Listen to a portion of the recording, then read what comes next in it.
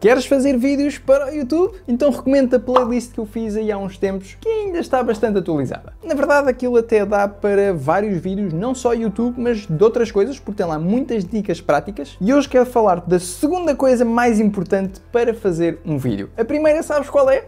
Tenta lá adivinhar nos comentários, quero saber quem é que adivinhou é o som. É verdade, o mais importante num vídeo é a qualidade do áudio. Senão a malta vai embora. E a segunda coisa, se calhar também não sabias, é que para teres boa qualidade de imagem, o que é que precisas? Tenta lá adivinhar nos comentários outra vez. Será uma boa câmera? Super cara? 4K? HDR? Não! Aquilo que tu precisas é de boa iluminação. Aliás, queres saber a diferença entre ter boa iluminação ou simplesmente uma câmera boa? Então eu vou clicar aqui neste botão ok, fiquei sem luz e tu não vês rigorosamente nada. Este foi um exemplo um pouco exagerado, mas vamos diminuir aqui a qualidade da luz só para tu veres, não é qualidade, é quantidade, só para tu veres a diferença de má iluminação. Se eu estou mal iluminado, repara, isto não vai ter a mesma graça, não é? O que é que é isto? Mas a câmera é boa, tanto é que se eu for aumentando, agora está um bocado coisa, vamos pôr aqui a luz como é normal, e agora sim, hein? Tá com ou não tá? Então ter boa luz é muito importante. A câmera até pode nem ser nada de especial, pode ser o teu smartphone e já vamos fazer aí o teste, mas se tiveres uma boa iluminação como esta Vidlock Selfie Ring Light de 12 polegadas, então meus amigos vão conseguir fazer ótimos vídeos, quer seja para o YouTube, Instagram, Facebook, para ter em casa, para mostrar a avós, amigos, o que for. Por isso, neste vídeo, vou-te dar dicas de como gravar e como usar luz e mostrar-te esta em concreto. Por isso, vais querer ficar até o fim para saber estes truques todos e aprenderes a ser um melhor gravador de vídeo. Uh! Estás curioso? Então roda a intro! Agora, quando acabei de gravar o vídeo, comecei aqui a desligar tudo e pensei, onde é que está o meu telemóvel? Preciso do meu telemóvel. Ah! Está aqui! Esquece! Olá, eu sou o Tiago e sejam bem-vindos a mais um vídeo aqui no canal, onde eu faço vídeos para te ajudar a tirares mais partido da tecnologia e a desfrutares mais do teu dia-a-dia. E por isso convidava-te já a deixares um mega like para apoiar aqui o conteúdo. E se és novo aqui no canal, então subscreve que isso ajuda imenso. E ativa também o sininho para receberes notificação sempre que sair um vídeo novo, que isso é mesmo importante. Ok, enquanto eu ligo aqui a câmera, vão lá dizendo nos comentários que ideias é que vocês tinham para este vídeo. Quem sabe se não virá uma parte 2, se quiseres saber algum pormenor mais em concreto. E vamos aqui ao unboxing, porque esta luz pareceu-me muito promissora. Pelo menos os acessórios que ela tem e tudo mais. Ulala! Estás a ver o que é que é isto? Montar o smartphone. Eu disse, não é preciso gastar muito dinheiro. Já agora falar-te aqui, pronto, pesa 30 gramas. Ah, 300. 15 watts de potência, isto é muito importante porque tu vês luz que tem muita potência mas aquecem muito, então é importante uma luz que seja, por exemplo, LED, não só gasta menos energia, como também aquece menos, porque as que gastam muita energia, às vezes é porque essa energia se perde em calor e é horrível. Tu ficas aqui a torrar, não, não dá. As que eu tenho, estás a adivinhar, são LED exatamente para eu não ficar aqui frito, porque senão aquecia aqui a sala toda e era uma chatice. Sala? Qual sala? É o quarto. E então, cá estás a ver que esta luz é de 30 cm de diâmetro, 100 lumens, mais ou menos dizem eles. Aqui está a potência, 5 volts, 2 amperes, portanto 10 watts, ou seja, consome muito pouca eletricidade, isso é ótimo. Se calhar até dá para um power bank, não? depende da ligação. É bom para os tons de pele, é bom para vários cenários porque dá para escolher a temperatura, isto é muito importante. Cá está, LEDs, como eu te falei, 144 peças neste caso. Tem um controle remoto opcional e um tripod stand opcional. O tripod stand estará aqui nesta caixa, se tudo correr bem aqui com os correios. E tem aqui esta validação para não magoar os olhos, e os ouvidos, e os joelhos. Ok, já vamos aqui ao unboxing da luzinha, mas eu agora quero montar aqui o setup todo. Por isso, temos aqui este tripé, portanto o comando, é lá, isto é alto, comando, comando, não, não vê, né? Não? Não. Não problema. Fazemos à mão. Ah, mas tem ali uma cena. Ah, tem aqui um botãozinho também todo gatita. Vamos lá. E eu depois, neste vídeo, vou querer gravar, ok, com o meu smartphone. Por acaso custou tanto como esta câmera, mas isso são pormenores. E vamos aqui.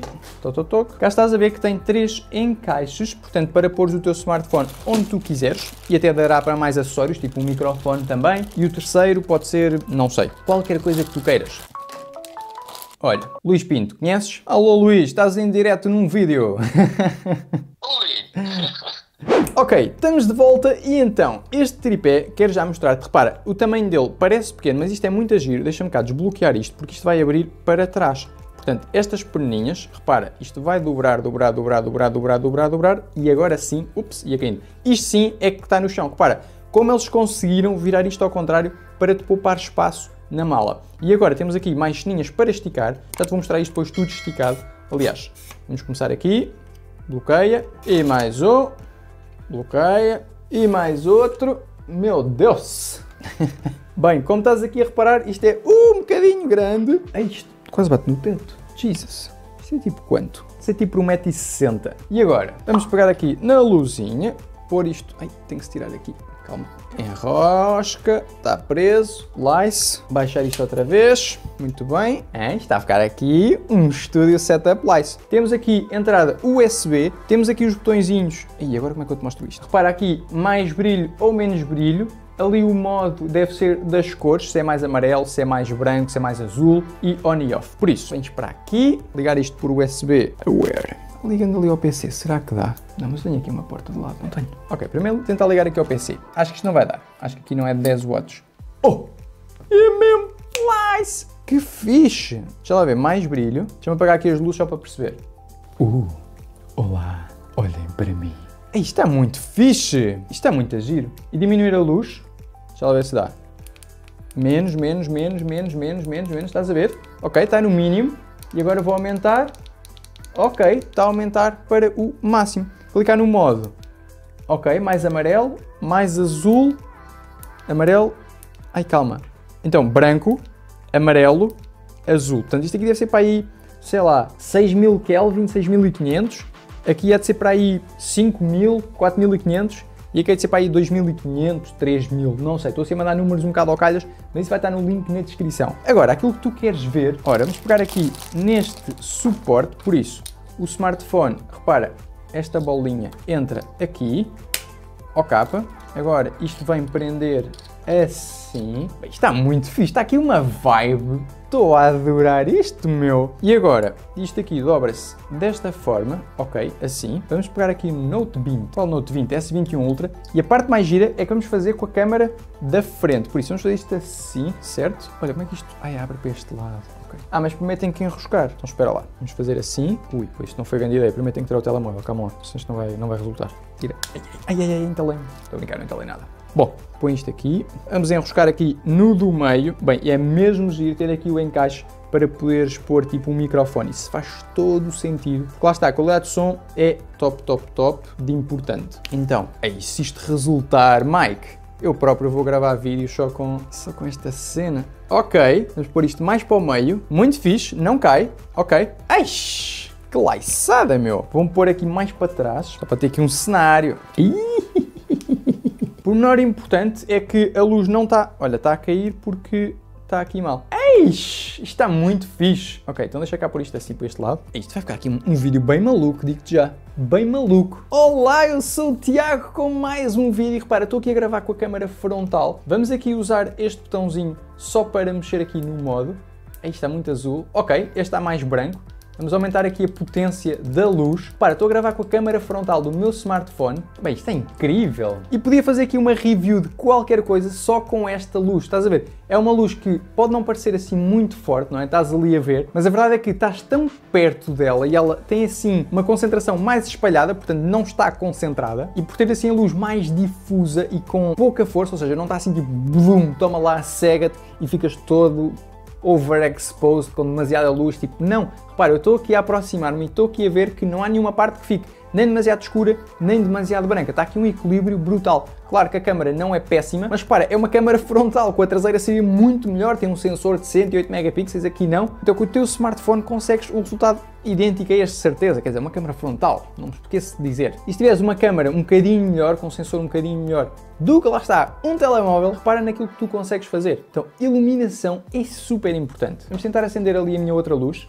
Repara, com esta luz fica ainda melhor, não é? Continuamos com uma câmara frontal. Portanto, isto é para tu veres a importância de teres boa iluminação. Claro que tu dizes, oh Tiago, agora ficou muito melhor. Pronto, mas estas luzes também são mais caras. É preciso ter isso em, em consideração na hora de comprar, pensar também um bocadinho na vantagem que vais ter quando gastas qualquer coisa e se isso compensa o investimento. Porque para ter uma, uma melhoria de qualidade um bocadinho superior, acabas por ter que gastar muito mais. E vou voltar então aqui à luz que estava só com esta ring light e está assim um efeito mais caseiro, mais cozy, que eu gosto imenso. Acaba por puxar mais as luzes que estão ali atrás, tipo mais o amarelo, mais o azul, mais aquele roxo enquanto que abrindo assim mais luz acaba por ficar tudo mais branco, acaba por ficar um bocadinho mais esbatido, então esta acaba por ser um bocadinho mais intimista e eu gosto bastante. É dúvida uma solução, eu na altura pensei nisto quando queria fazer um canal minimalista, ter assim um setup todo em um e esta luzinha vai ficar aqui porque vou explorar este conceito. E ter depois aqui o um microfonezinho, tipo aqui em baixo, por baixo da luz, o som está perto, porque estou aqui mesmo à frente e eu estou encantado. Tipo, gravar com o smartphone está com uma qualidade incrível. Eu não sei em casa como é que está, mas eu estou aqui a ver no ecrã do S21 Ultra, que é muito bom também, e está incrível. Repare, aqui este efeito nos olhos fica muito bem nos vídeos de moda e beleza, tipo as raparigas adoram isto. Eu na tecnologia prefiro as outras luzes, mas para quem está a começar ou para quem não quer gastar muito, para quem quer ter, quem quer ter uma solução on the go, em que tu levas facilmente para qualquer lado, montas o teu setup, tens uma luz suficiente para iluminar alguém, tipo estás a entrevistar alguém ou o que for, dá imenso jeito, mesmo para fazer uma thumbnail, agora estou aqui, as, as, as possibilidades são infinitas, agora é começar a pôr a cabeça a trabalhar. Isto é mesmo incrível, e ah, para thumbnails isto é fantástico, eu tenho sempre problema de overexpose, Vou pôr aqui a câmarazinha e ai, era grande ideia. Olha, é isso que vou começar a fazer. Em vez de ter aquelas luzes grandes, gigantes, que acabam por borratar um bocado o telefone, tipo fica overexposed, tenho que ir depois ao computador trabalhar nisso. Aqui maravilhoso. E pronto, é basicamente isto. O que é que nós temos mais? Temos depois aqui este suporte. Isto é mesmo engraçado, eu não estar a gravar com a minha câmera principal. E aqui com isto permite ajustar melhor. Repara, eu até consigo fazer aqui um unboxing de alguma coisa. Isto é extraordinário. Portanto, aqui permite ajustar assim a inclinação. Portanto, eu vou desapertar aqui deste lado. Faço assim e depois posso voltar a apertar. Repare, imagina se eu quero isto desta forma e fica preso assim. Portanto, para meteres aqui outro acessório que usa aqui este encaixe, Pois há adaptadores, ok, isso é muito importante ou podes tirar isto aqui. Enfim, dá imenso jeito de terem este acessório já aqui na caixa, porque podes adaptar da melhor forma que tu quiseres. E um pormenor que podes ver aqui depois no site é que há os dois tamanhos de luz. Há este de 12 polegadas, que é o que nós temos. É o mais pequeno, que tem menos potência, gasta menos também. E depois há um de 18 polegadas, esse tem muito mais potência, já são 50 watts. Aí será mais difícil usar com um power bank, ao contrário deste senhor, que ligas facilmente. Por isso podes estar de viagem num sítio sem eletricidade e com um power bank estás a usar. E depois o outro também tem mais mais acessórios. E outro pormenor é que, como estás aqui a ver, a luz está numa altura fixa, mas por algum motivo, se tu precisares de inclinar a luz assim para cima ou para baixo, podes colocar o tal adaptadorzinho e por isso na verdade podes usar este acessório para colocar aqui a luz, imagina, vou apertar assim e agora vou colocar isto aqui, cá vem este amigo, vamos enroscar, enroscar, enroscar, enroscar, enroscar, enroscar, enroscar, enroscar, enroscar, enroscar, enroscar, enroscar e agora como estás a ver, a tua vidlock está inclinada, ok? Vamos então pôr aqui, imagina assim, mais para a frente se eu quiser e agora sim vou prender e já está.